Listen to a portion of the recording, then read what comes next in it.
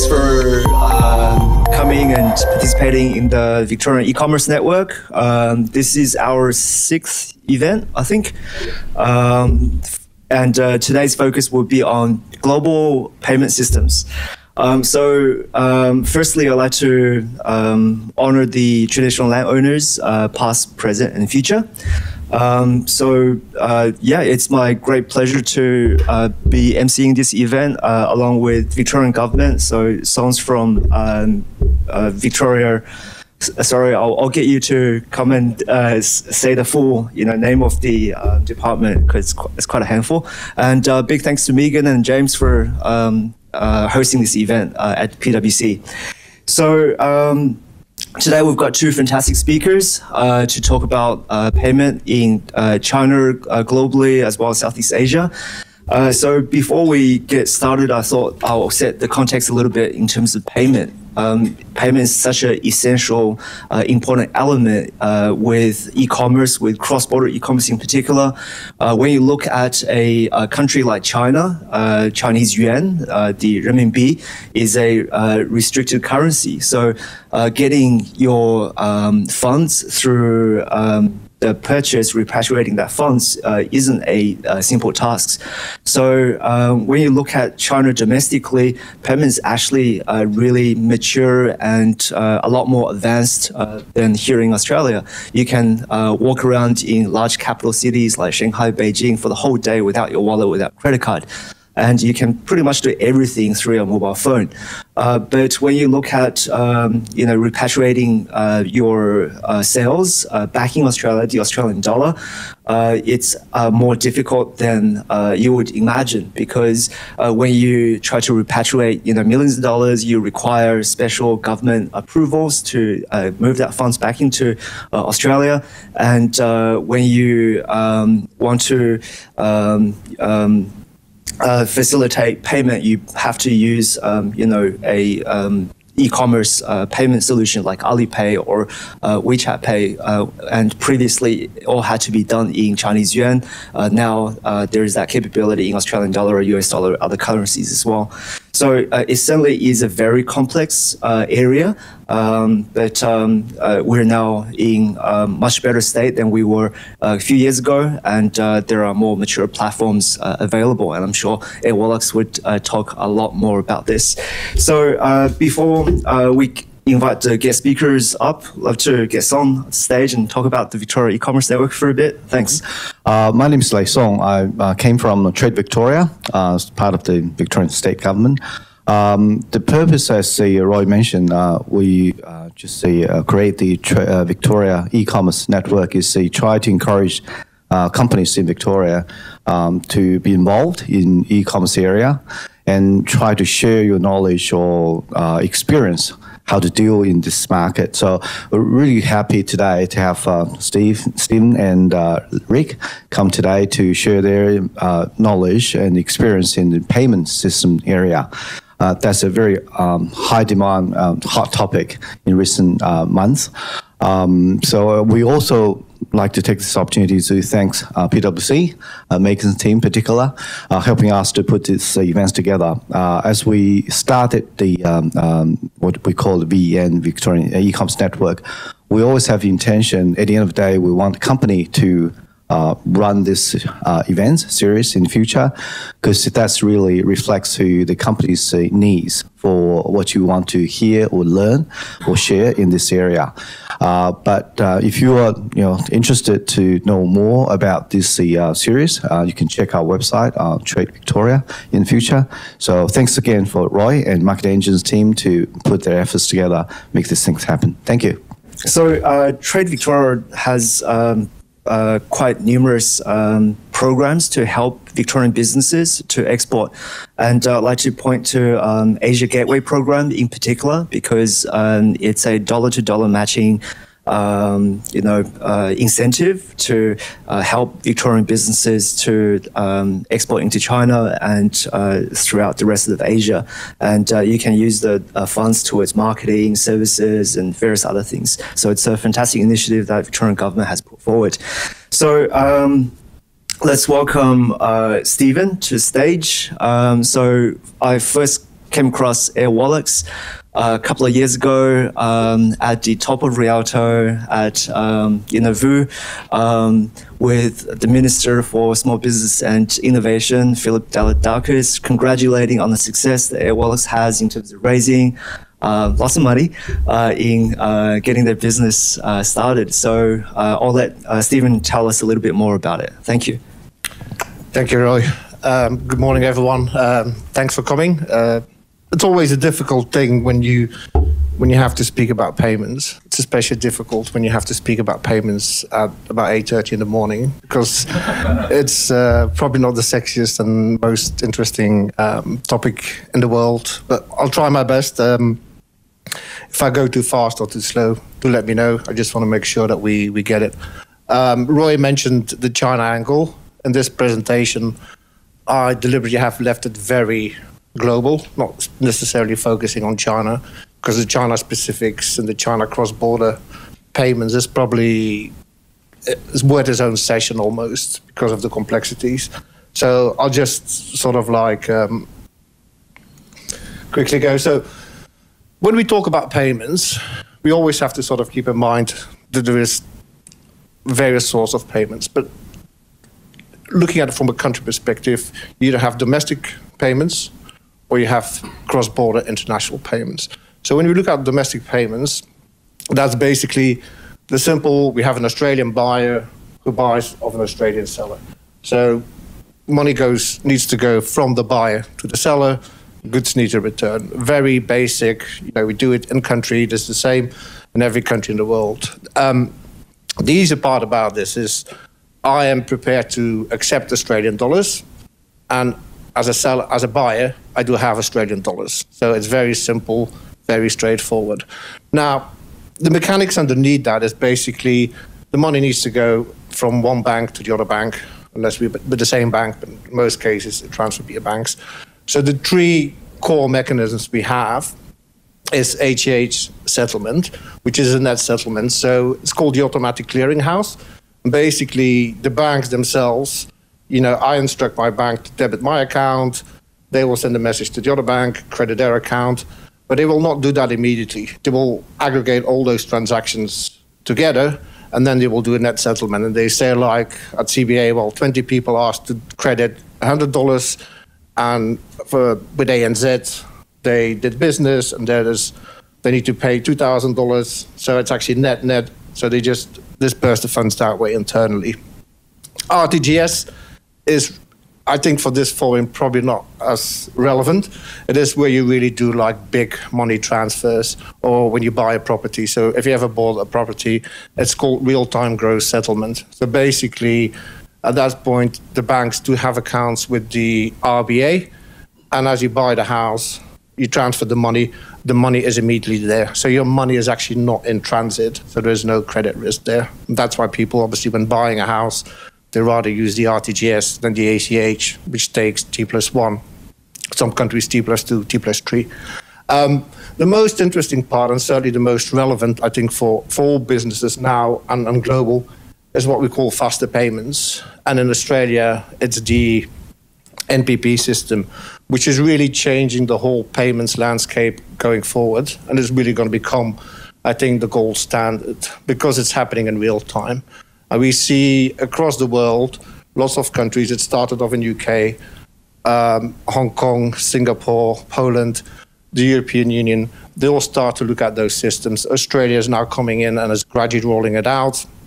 North America is lagging a little bit behind, but that's going to be the future. And the great benefit about this system is it's actually 24 7. So it runs from a Monday till a Monday. There's no stops during the weekends. So there's no cut-off times. So normally when you make a payment to the bank, they will say your funds need to be here by four o'clock. Otherwise, it will only be T plus two when the funds arrive with your counterparty. You can do just in time. So when you need to pay a bill, you don't need to make the calculation in your own head to say like, oh, wait a minute. If I need to pay my supplier by Friday, I need to initiate the payment on, Mon- on Wednesday for it to get there. So that helps you to do uh, far better working capital and supply management.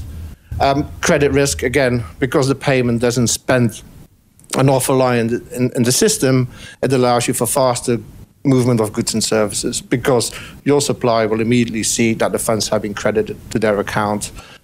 At the same time, from a seller perspective, you have the ability and access to your funds on the same day, which again helps you to improve your liquidity management. The good thing is it's immediate confirmation. So you send the message, you know exactly the payment has been accepted or rejected. Now, the mechanisms of it work very simple. I am sending a payment. I instruct my bank to send a payment. What they will do, they will send a message to the counterparty to say, yes, Steve has $100. He will settle these funds. And then on the other side, my bank will reserve them. And on the other side, they will immediately credit that money into your account. At the end of the day, the banks amongst themselves will do like a major settlement. But from a consumer perspective or from a business perspective, you have immediate access to your funds. Fees, obviously, a key part of payments is very, very transparent. You know, when we look at an RTGS, we're looking anything between 20 to $50, sometimes more. This is as low as 10 cents, 5 cents, we've seen them. So that's really going to help moving that traffic. And probably the final and, and most important part for companies and organizations to do an awful lot of payments um, at the moment within the current clearing systems. And that's a typical thing around the world, and it's sort of a hangover from uh, the 70s and the 80s when they developed the systems on, on, on massive mainframes and, and, data was an expensive commodity. Uh, you had 18 characters or 12 characters to put in your reference. Now, if you do millions of transactions a year, 12 characters you're going to run out quite quickly if you want to do automatic reconciliation. So lots of these people have now introduced um, the fields where you can put into 70 or 140 characters, which really helps to sort of transfer uh, funds. So that's that's on the domestic side. I think we all we all very familiar with it. Now we're going to go onto the cross-border side. Uh, the cross-border side is actually it's got two steps in it.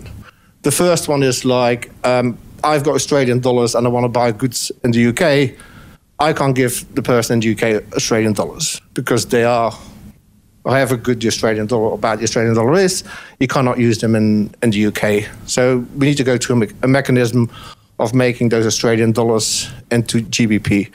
Once we have those GBPs, they still in Australia, we, didn't, we then need to find a mechanism to get them into the bank account right on the other side of the world. So that's sort of the second part. So before I go into a bit more detail, I'm just going to do very basics on FX. You know, on the FX side, I know in Australia, there's conventions and you always have a base currency and a quote currency. Now, the international standard for GBP, AUD, pound sterling against AUD, the base currency is the pound and the quote currency is AUD. Although I know from experience that lots of people are used to do the other way around and when they talk about it. So, but simple logic is like for one pound, you get 1.75 Australian dollars. Now, that was the rate when I made the, present, made the presentation last week. Uh, unfortunately, some economic data and headwinds out of America have come out. I think I need to update my presentation because that rate has now gone to, I think, about 180. So that means you, you have to pay $1.80 to get that same pound. But more on that uh, in a second. So, who sets the exchange rate? So, who is actually deciding that that's going to be the price for an Australian dollar? Well, it's very simple. I want to buy 10,000 pounds and I'm prepared to pay $17,500 for them. I go out on the market, there's someone else who says, I want to buy, I want to sell 10,000 GBP and buy. And agreed, the deal is done. So basically, the FX market is as simple as that. It is the most liquid market in the world. Literally, trillions and trillions of dollars go through the system every day. It's, it's um, far more liquid than the, for instance, like everyone is familiar with the credit market, mortgages. The FX market is, is far more liquid than that. It's also the biggest market. So the way it works is like you've got these group of big banks in the middle. They like your wholesale banks. They have lots of these dollars, Swiss francs, Deutschmarks, pounds, and they have people who, who call out, and they will have banks other local banks, might, might be NAB in Australia, or might be a big multinational who say like, okay, well, we need X, Y, Z dollars. They will make a quote, they will make a price, and they will transfer the dollars. So, what does that say about the market?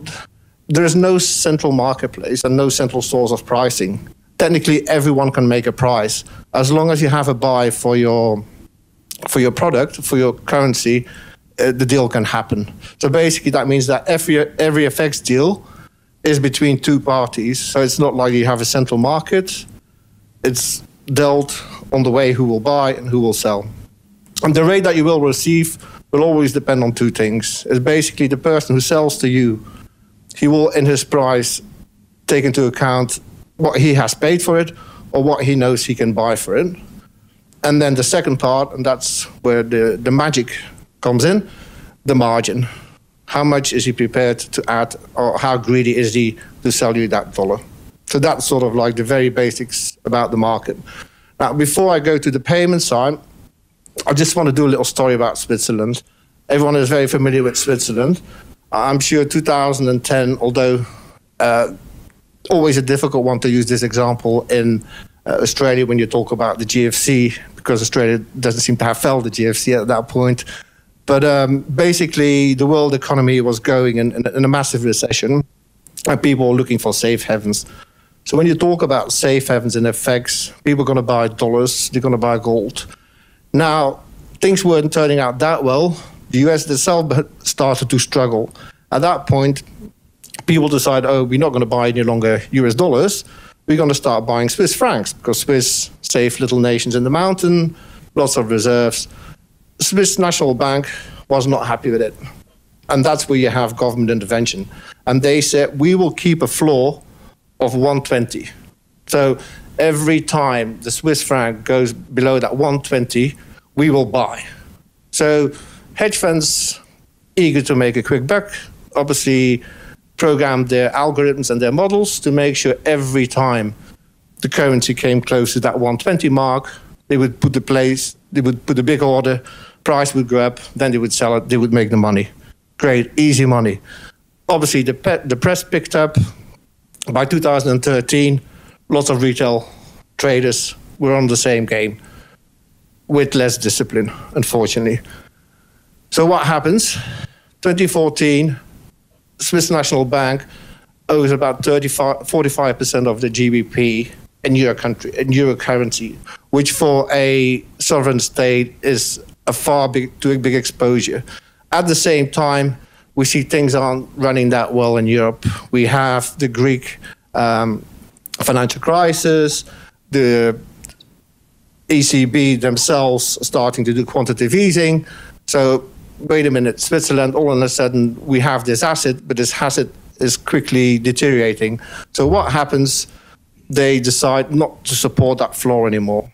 So, rather than keeping up these high interest rates and paying, what they do, they actually make a negative interest rate. What does that mean? That everyone who holds Swiss francs, i.e., the big hedge funds, at that point, need to start pay interest for the deposits they hold in the bank rather than receive interest. Speculators, retail speculators, are very caught unaware, and the net result is basically this.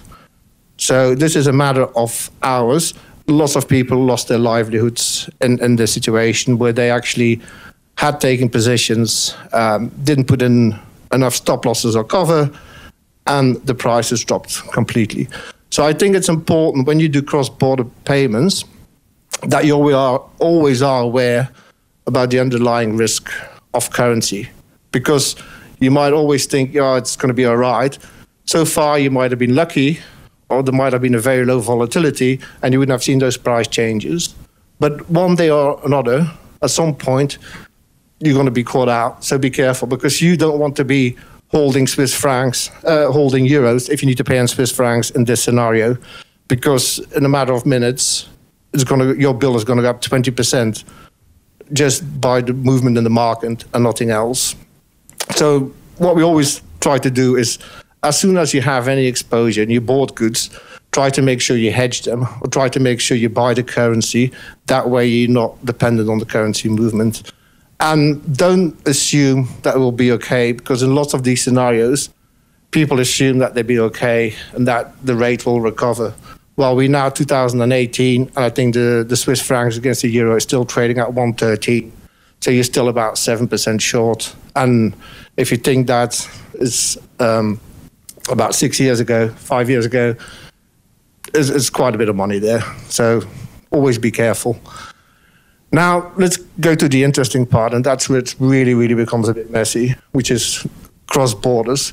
Um, on the right side, on the left side, you see the SWIFT, which is the SWIFT network. And basically, this is the network where all the banks are connected to. And SWIFT is a telecommunications network. It's something which was set up by the banks uh, back in the 70s. And what these people do, they send messages to the banks to say, like, oh, I have someone who wants to sell something and he's going to give you that. They don't actually move the funds, they just facilitate the messages. And by the looks of it, it's a very lucrative business. So if I'm a payer here in Australia and I want to pay someone in the UK, what do I do? Well, I go to my bank. Let's go back and we, we keep it simple. So the exchange rate is 175. I've got a 17,500 AUD. So technically, I need to pay someone 10,000 pounds. So I, I have enough if I have 17,500. I walk into my bank, the beautiful branch is a cup of coffee. I just lost $50. That's sort of the bank charges the privilege for you walking in. Then the bank says, okay, you've got 17,450, actually, because you already lost 50 just about this year walking in. The market rate, interbank market, when I said those big banks, they sell at 175. So the bank bought at 175, so they got $9,971. But wait a minute, the bank says, well, we haven't got our margin on here we need to take a bit of this as well because it's not fair. You know, the cup of coffee is one thing. We need to keep another bit of margin. So rather than 175, you get 177. So your 17,450 is actually only worth 9,859. Okay, so that's, you now have your pounds, you're ready to leave Australia. Now, most Australian banks do not actually have branches overseas. So if this person, the recipient, has a branch with Barclays, they need to go what you call a correspondent bank network. And that's sort of where you have agreements with these banks say, okay, if I have to make payments into UK, I will use your bank. These guys very happy with it because along the line they can charge a little fee. so they take their 20 pounds at that point. That correspondent bank might have another correspondent and take another 20 fee. So by the time it arrives with the recipient, what should have been £10,000 is now down to £9,819. So actually, you need to pay $17,816 to make your £10,000. Sorry. So basically, if I get in front of it, so total fees and margin, £181 or $316 to make a $17,500 payment. That's when you go via the International Correspondent Bank Network. Uh, a couple of years ago, when, when Jack started the business, he had to learn it the hard way. And this is sort of like, he, he didn't like fees, and I don't think many people like fees. So he started to think about how can we do this different, and that's when he started Airwallex. Now with Airwallex, we do it slightly different. So what we've done, I know beginning of the um, presentation, I mentioned about these faster payments and those real-time networks. We actually have created relationships with banks in all these countries. So we actually do have accounts with a bank in the UK where we can do faster payments. Obviously in Australia, we have it in North America, and we have it in Asia. So we actually don't need to go via the SWIFT network. So we don't need to pay those fees as we go along the journey. So starting point, 10,000 GBP. Basically, the interbank market is the same rate, it's 175. Now, what we do, we publish our rate as 175.50, and that's transparent. So, depending on the deal we make with you, we will always say it will be the intermark rate, interbank rate, plus a certain commission or certain margin. In this case, it's 50 bips. Then we charge you five fee, five dollars for the payment. So rather than the 50, the 20, and the 20, we have a very straight, transparent pricing fee. So total cost you seventeen thousand five hundred and fifty-five dollars to do exactly the same payment. The difference is we do it in T0, T plus two. If you look back at the previous slide, if you go via the Swift network, times can go vary anything from two to nine days which is nine days, your money is actually in the system and you don't really know because there's very limited transparency in that. So basically, a savings of 261. So that's sort of the concept and, and, and the, the business that we have built. Um, obviously, lots of our business we do with China, but we also do inbound and outbound out of China and Australia to the rest of the world and vice versa. So we're international payments. We do same payments. It's full amount delivery. So when you send 10,000, 10,000 will receive on the other side of the world. We can do it at scale and it's a transparent pricing model. You will know exactly before you enter the transaction how much fees you're going to pay.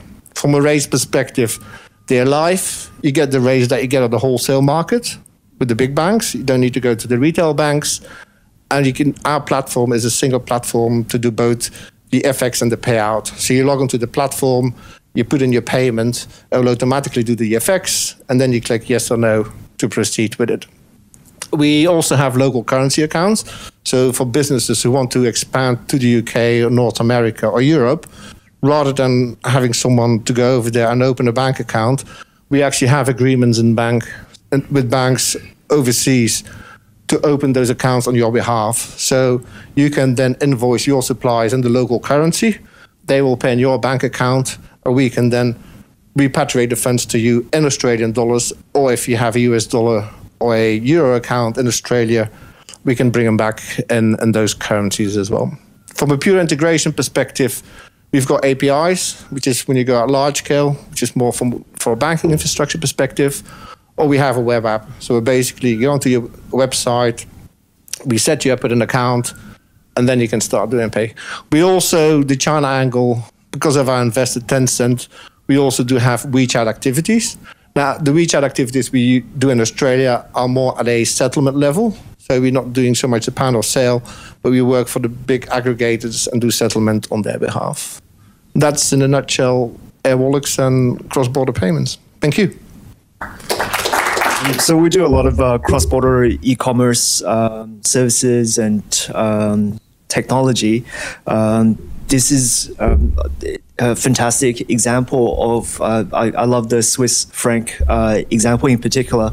It's um, it's a great illustration of how um, every step throughout the way you try to have control in your business. You know, from logistics, customer service, you know, product satisfaction, um, and uh, you know, when you're dealing with much larger platforms, you lose that control. And uh, global currency foreign exchange is a classic example of it. You anticipate certain percentage of margin, then suddenly, with that loss of control, you lose um, quite a bit of margin in this. Um, so, um, with the cross-border e-commerce uh, activities that we do from Australia, China is certainly a very important player. I'm glad to see WeChat Pay being a um, provider of um, um, a partner of yours, and uh, uh, also um, from Australia perspective, Southeast Asia is really important uh, from uh, our merchants perspective and the addressable market perspective. And um, to talk about that, Rick um, from Trade Trade Indie uh, has got a lot of experience in Southeast Asia and love to uh, hear uh, what Rick has to say about that. So my name's Rick. Um, I am the operations director for Trade Indie. Um, Trade Indie is essentially an ind- independent programmatic aid agency that's headquartered in Melbourne. Um, but with operations in Singapore, uh, KL, and Jakarta. What do we have to do around uh, what, do, what do we have to do about global pay- payments? Not a lot, um, to tell you the truth, but um, we do have a lot of um, we do run a lot of campaigns where we're accountable for the performance of that campaign, um, where we are accountable for the final transactions that the um, advertiser is expecting. Um, so we're an independent agency. We, we work with a lot of uh, independent um, advertisers and direct brands. We do the programmatic advertising for all the warehouses in Australia. Uh, by warehouses, I mean Chemist Warehouse and Hair House Warehouse. Um, so that was a joke. Um, uh, we don't have Pet Warehouse though, but we are we are aiming that we have an aspiration to work with Pet Warehouse.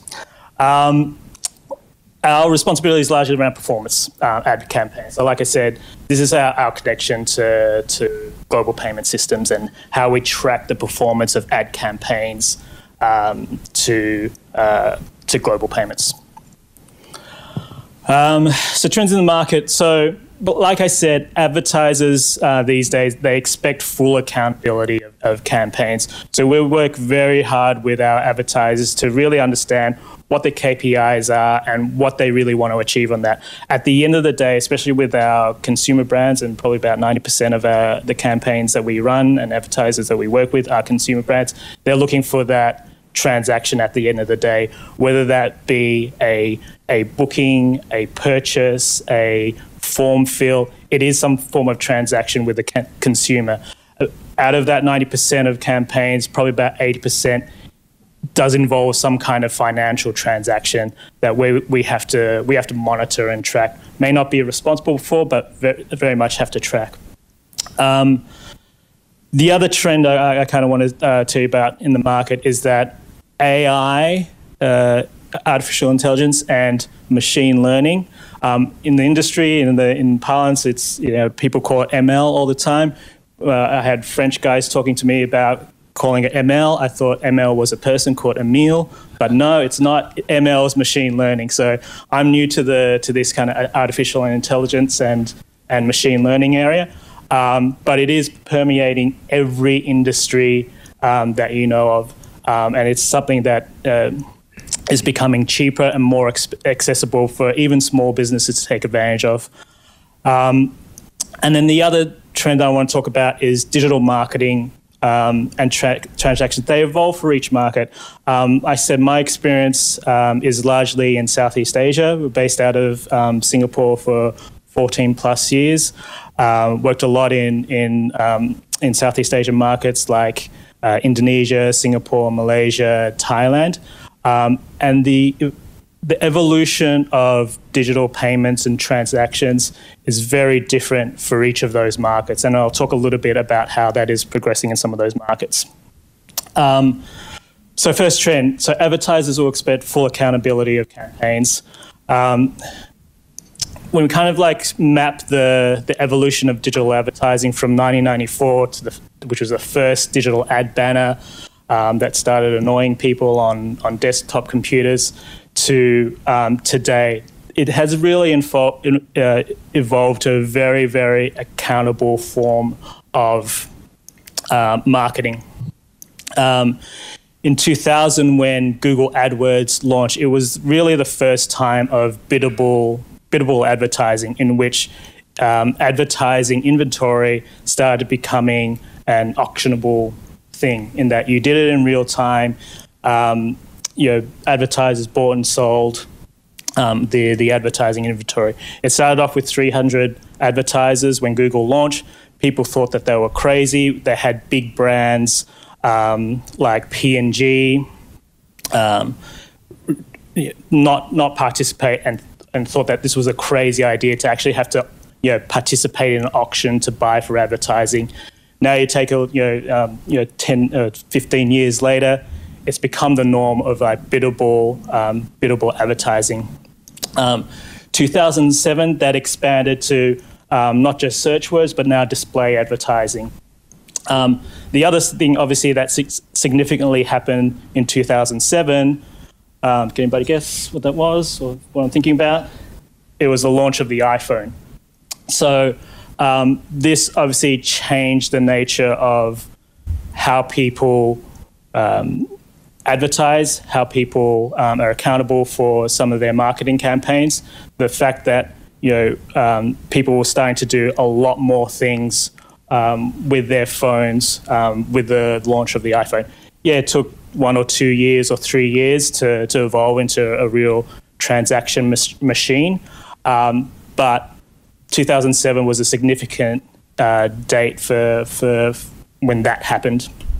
Um, and then when you fast forward again to last year, we had a lot of scares, obviously, with the, the data breach um, scandals um, uh, from what's that company's name? Cambridge Analytica. Yep, uh, that one. I, I, want to forget about that time period. Um, but there was a lot of sensitivities, a lot of issues around the use of um, or the misuse of data um, within those big ad platforms um, in Facebook, um, with Google and, and, and YouTube, and, and, and with Twitter as well. Uh, a lot of that is obviously being, being cleaned up. Data is still available. We're obviously more focused on um, non PII data, so non personally identifiable um, data. But um, there are still good, safe, consumer friendly ways to target audiences and and deliver ad campaigns that perform well uh, and, and again in a brand safe and in a consumer friendly way. Um, so the next trend I want to talk about is um, artificial intelligence and machine learning that it's permeating through every industry and country. Um, when I think about our own um, industry of, um, of digital advertising um, and the start of how, how it worked, it kind of was like this, like people trading um, the ads in, in, in, this kind of manner, um, like a stock exchange, right?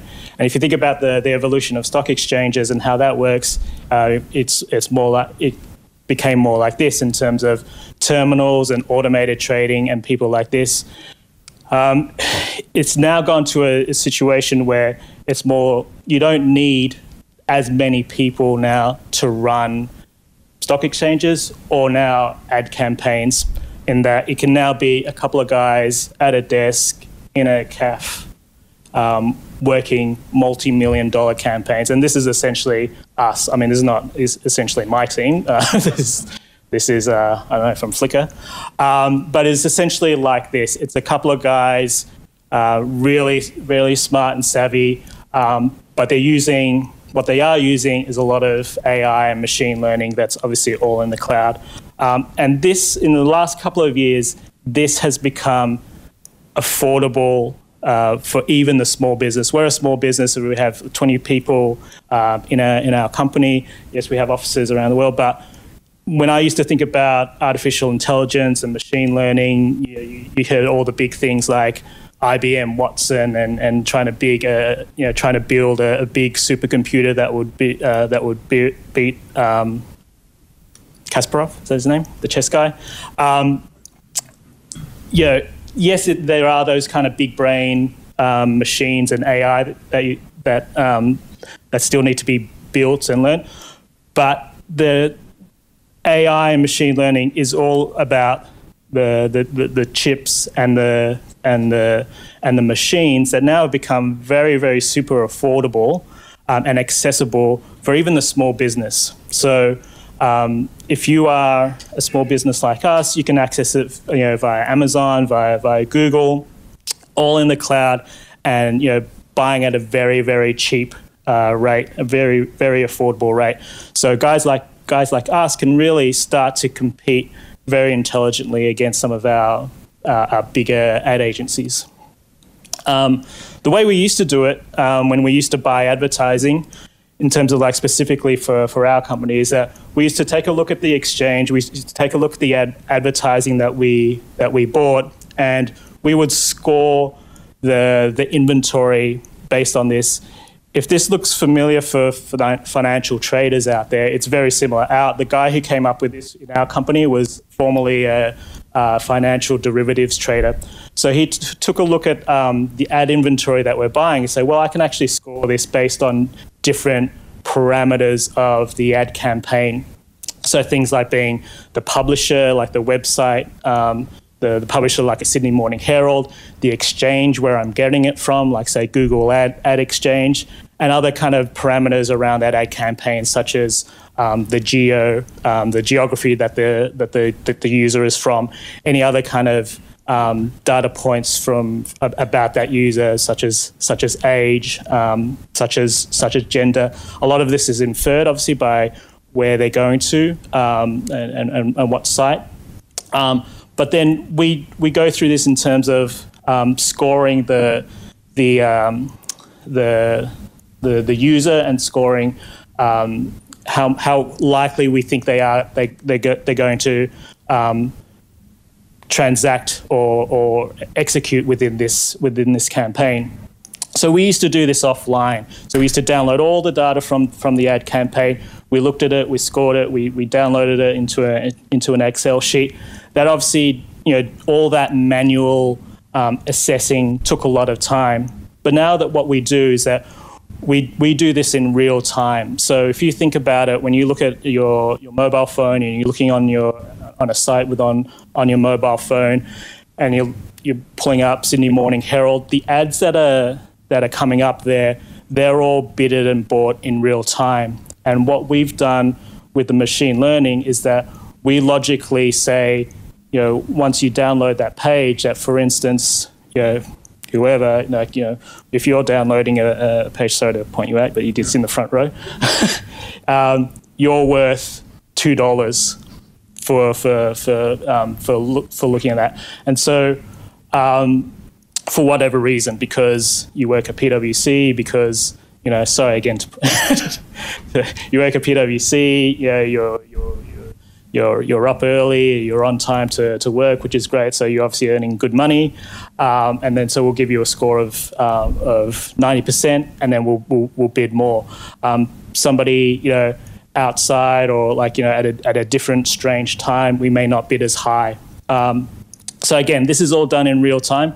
If we didn't have, you know, the AI accessible um, via, say, a- Amazon or Google, this would not be possible for us. So um, this is just one example of how AI and machine learning is is working for a, for a company like us. Uh, we've applied it to an ad auction model. Um, but if you think about it, you can apply it for everything as well. Um, I've seen companies use it for customer service. Um, if you think about virtual assistants, a lot of them are really terrible. Um, I, yeah, if, if, you've ever used Singtel Optus's one, it is super terrible. Um, but it is a machine learning uh, algorithm that that is constantly improving. So I've seen the difference between you know when I first started using it to a year later. It has slightly improved. It's got my name right. It knows kind of like what I what I like, what I don't like, and what I'm looking for. Um, but it is going to get better. Um, hyperlocal performance. Um, another one around this, and another example I want to give you is um, hyperlocal performance ad campaigns and how machine learning is is is doing that. Uh, and this is kind of partly um, related to how we're how we're kind of connected to the to the um, payment systems. So we have a partnership with with Harcourts, um, the the real estate network, uh, where we drive hyperlocal campaigns um, for the real estate agents. Um, so if you see here, these are kind of a couple example of the ads that, that we that we run for them. Um, uh, very targeted what's the difference um, that we do? So what we do is we take a look at um, uh, they have a they have a property that's um, that's for sale. They've obviously got a list of uh, competitive properties in that region. So let's say Pakenham, um, and they've got a three bedroom uh, house listed for for one million. Uh, and there are there are similar properties in that region in that in that neighbourhood um, that they're going for the same, that are open for inspection at the same, uh, open for inspection in, around the same uh, time frame, like say, like say a month.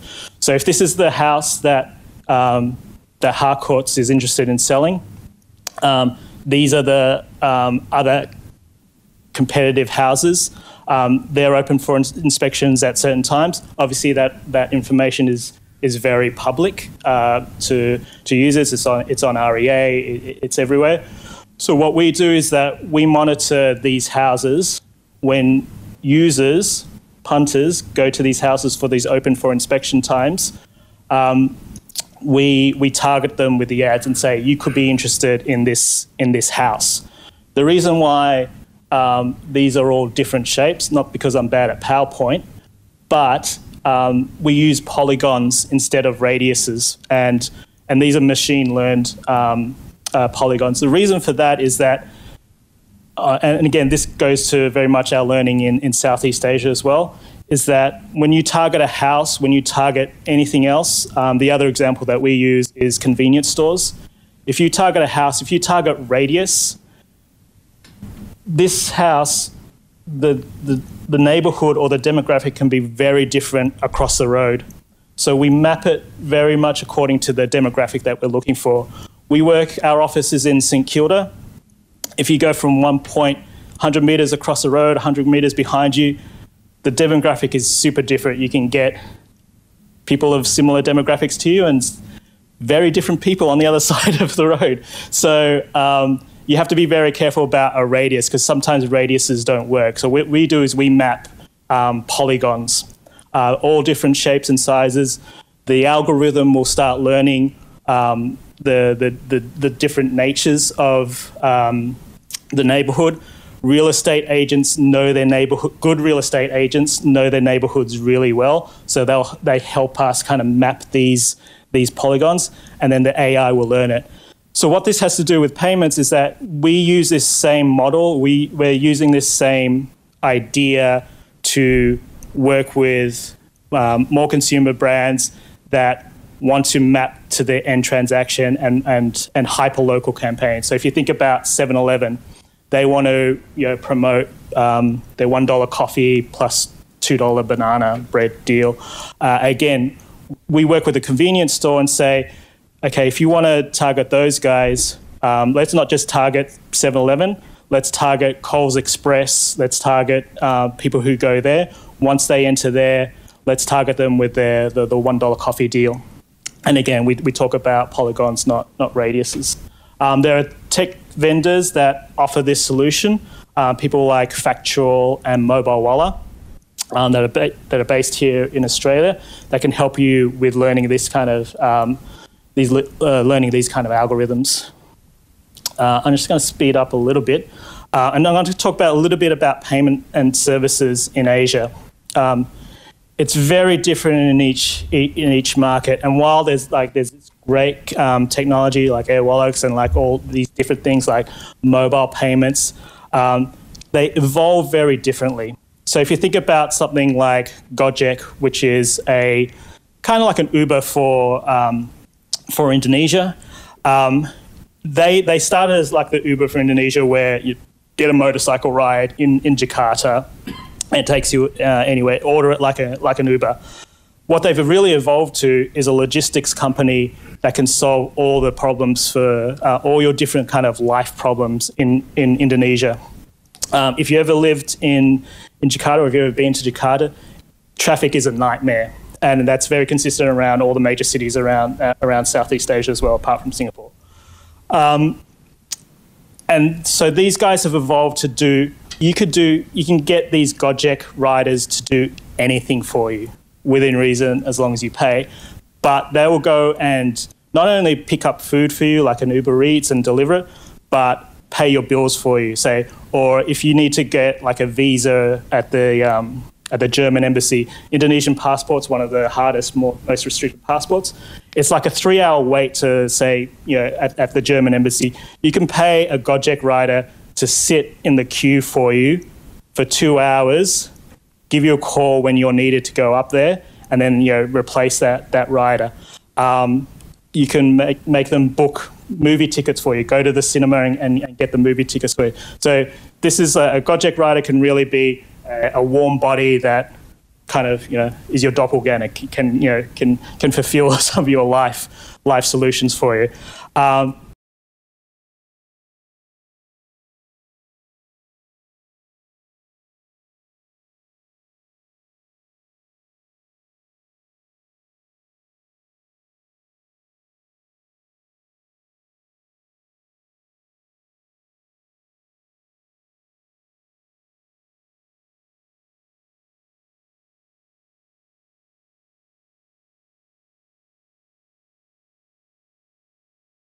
or accounts um, feature their feature their goods or what they're selling um, within their accounts. Um, but the interesting thing about that, I mean, that's relatively normal. But what they do is that they actually complete the transaction within a messaging app. So this one in particular is done in Line for, for Thailand because that's the most popular. In Indonesia, it's it's WhatsApp, and for, for Malaysia, it'll be Facebook Messenger, for instance.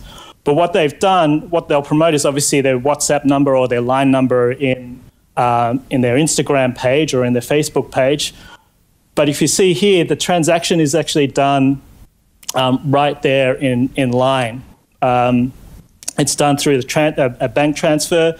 They'll kind of say, you know, you need to transfer me this money. Give me, a, a, you know, give me proof of once you've done the transfer. This one is just a screenshot of the transfer that they've done and they say, okay, I mean, this Thai, um, it's been, it will be delivered to you the, the next day. So this is an example of like, while payments are, are, are great, people are already figuring out how to get the most or how to really transact um, through all different other means. And the ability to do this through messenger apps is really important in Southeast Asia. So, like the idea of kind of WeChat uh, integration in there.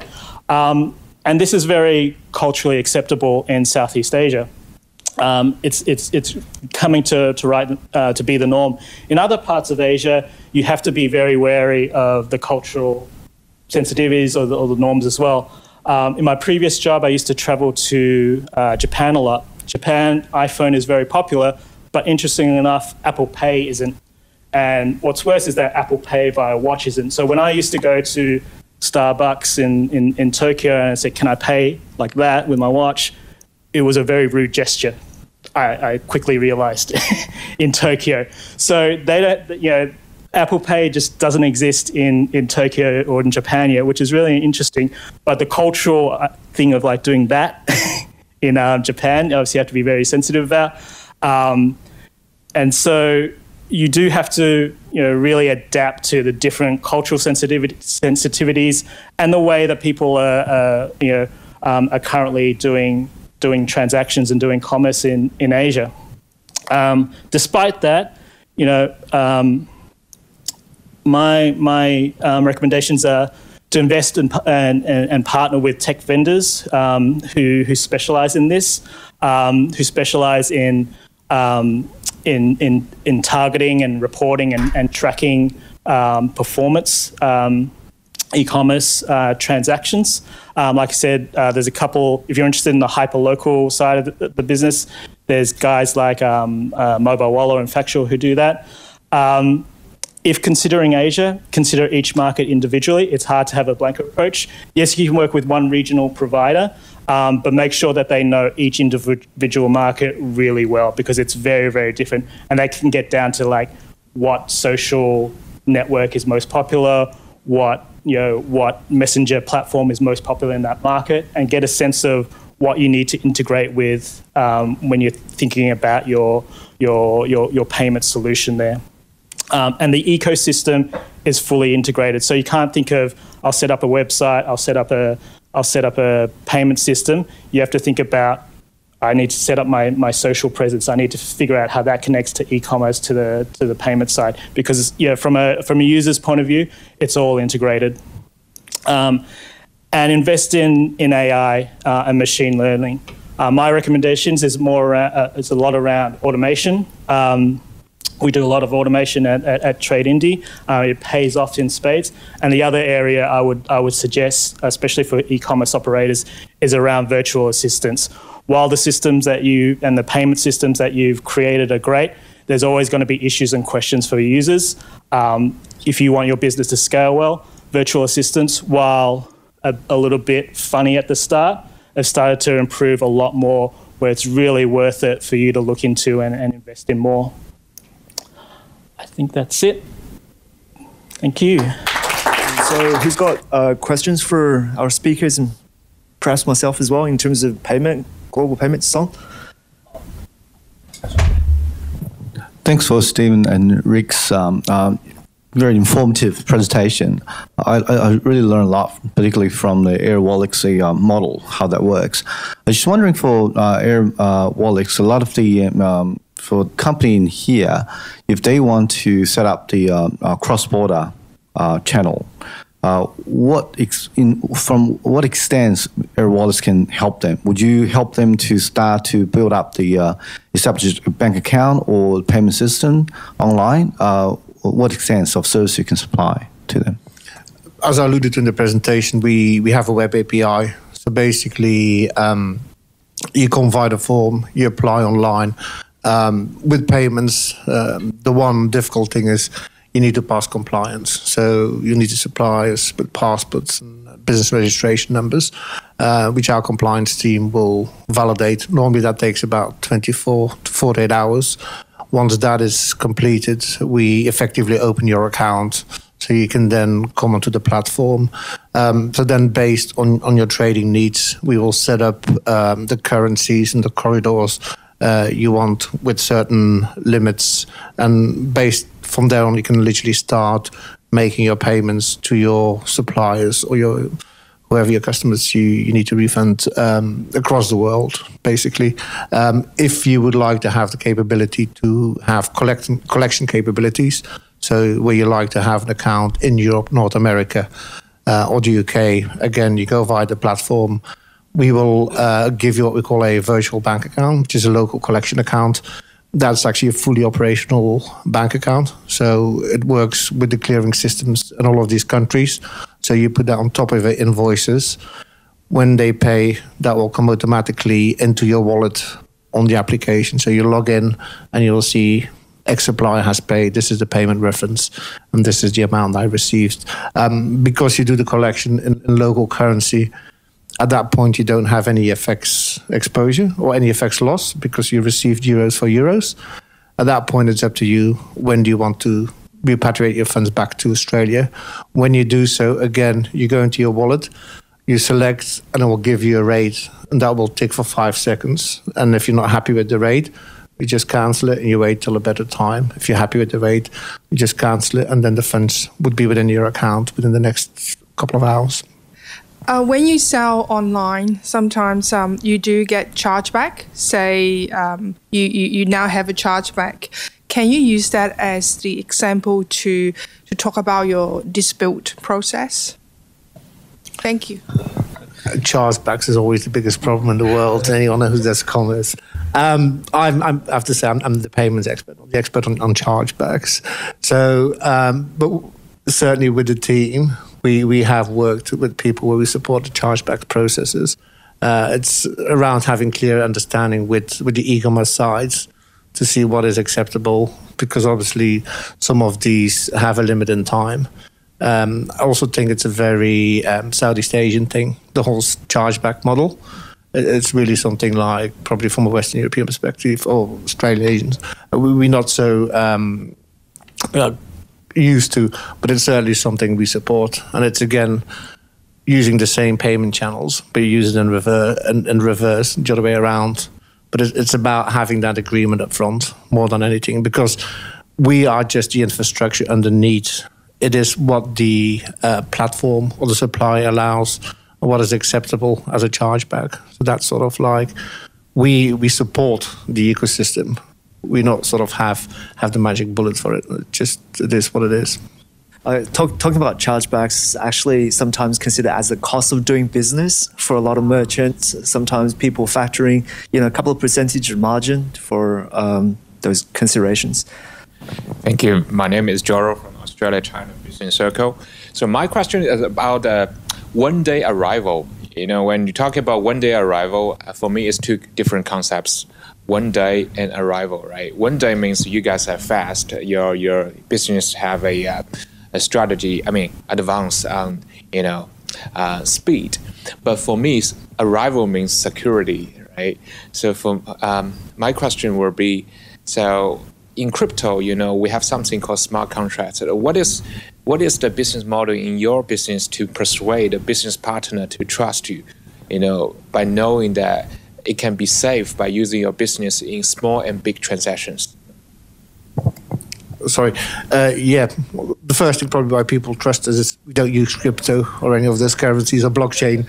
So we use the uh, traditional banking channels. So every all our funds are held in client segregated accounts. So they are the, the basically our customers' funds.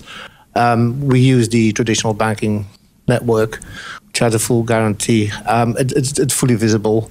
And if you use the faster payments, where you basically have one minute, or let's say in worst case, 10 minute execution time, it, it is quite transparent and people trust it.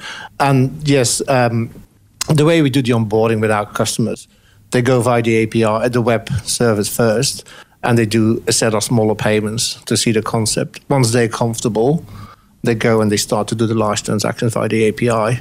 Um, it's fully secure in compliance with the banking regulations. We do full compliance checking, we do full screening. And I think that's the most important thing uh, for every business who, who does cross border. Um, no disrespect, and crypto and, and blockchain has got a tremendous future. But at the moment, I think the regulatory environment is still not ready to accept it Uh, in its full capability. And when you make payments, the most important thing is about compliance, is to make sure when you pay someone in China or in Europe for goods, you actually effectively have bought those goods and there is an invoice attached to it. And that's what the banks where we work with across the region will all do the compliance. So we, we are part of a far, far bigger, far wider ecosystem. It's not Airwallex that just connects directly to the clearing.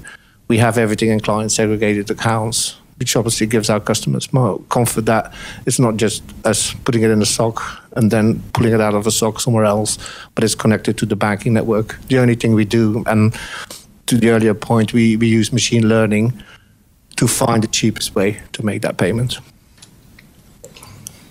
Great, thank you. Uh, uh, this is all the time that we have for, uh, but I do encourage you guys to hang around and network and ask questions to our speakers, perhaps later uh, when the uh, networking session starts. So, uh, can I get a round of applause for our speakers today, Rick and Stephen?